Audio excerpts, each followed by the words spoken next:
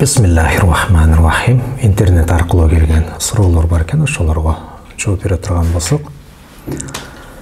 Устаз махыр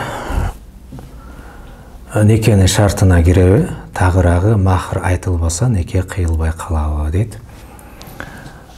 Махыр деген бул калың ал дегени үйлөнүп жаткан учурда аял тарапка берилчү акчаны биз махыр деп айтып коебуз.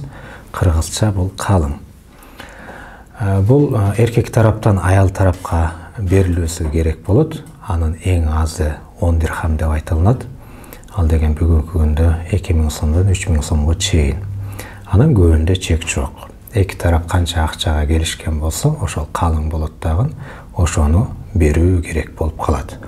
Бирок бул никенин шартына кирбейт?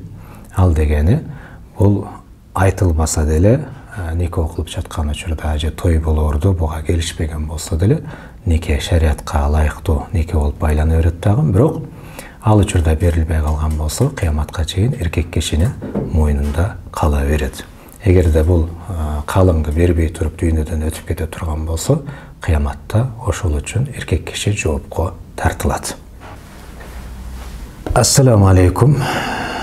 Кайнатасы келинине талак берген болсо талак түшөбү баласынын уруксатысыз эле кайната кайнене келинине талак берип ажыраштырып жатышат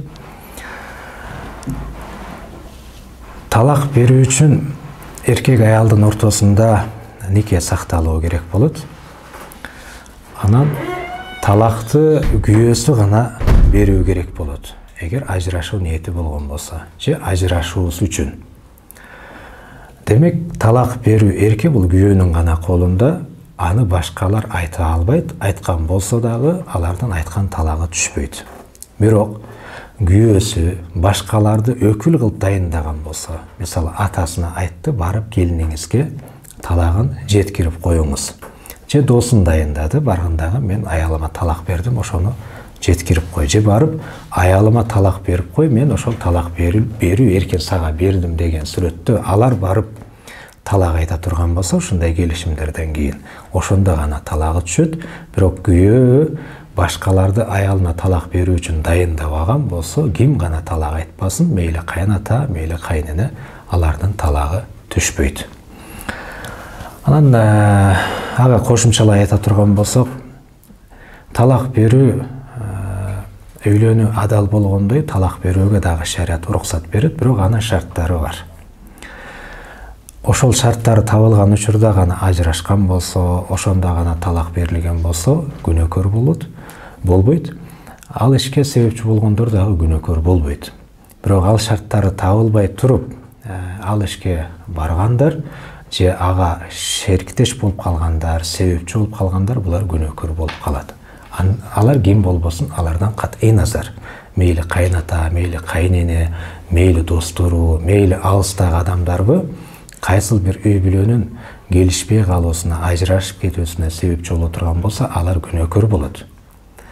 Ажыраштырып ийгендиги үчүн анан ортодогу балдар тирүүлөй жетим калгандыгы үчүн бирөөнүн колунда азап тартып калгандыгы үчүн кыскасы ажырашкандан кийинки эмнелер гана болбосун башынан ага себепчи болуп калгандыгы үчүн алардын баардыгы күнөөкөр болушат ошон үчүн үй бүлөлүк кишилерге мамиле кылганда кайната болобу кайнене болобу же башкалар болобу өтө абайлап кылдаттык менен мамиле кылуу керек болуп калат анан бизде динибизде ушундай бир маселе бар.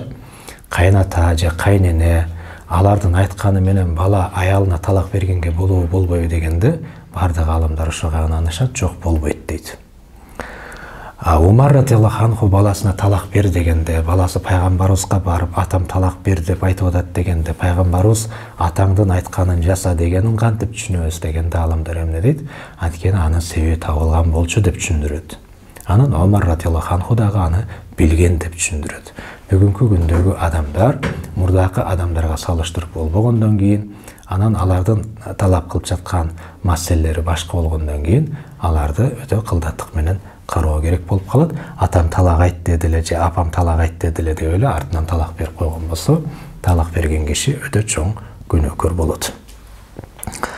Ассаламу алейкум күрөө кана ломбард.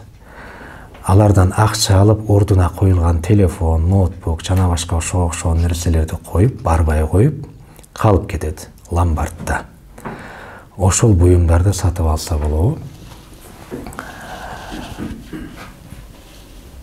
Буларды болот болбойт деп айтуу үчүн ошол ломбардка койгон киши менен ломбарддын ээсинин ортосундагы келишим каралат. Анткени ал жерде эки келишим бар. Биринчиси ошол буюмдарды күрөөгө залогко коюп жаткан киши менен ошо залог алып жаткан кишинин ортосундагы келишим бул биринчиси. Экинчиси ал буюмдарды башкаларга саткандагы келишим болуп эки келишим бар.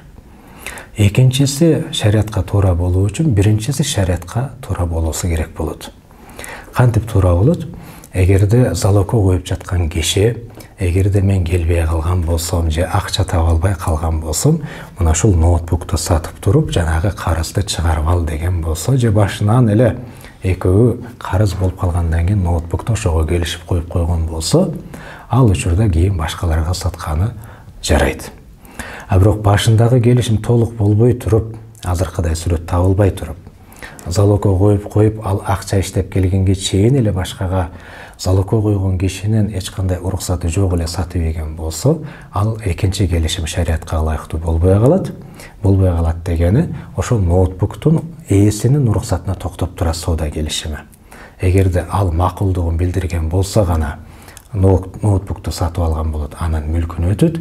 Эгерде ал макул болбосо алардын келишимдери шариятка ылайыктуу болбой калат. Аллаху алам бисаваб саллаллаху таала аля расулина мухаммад ва аля алихи ва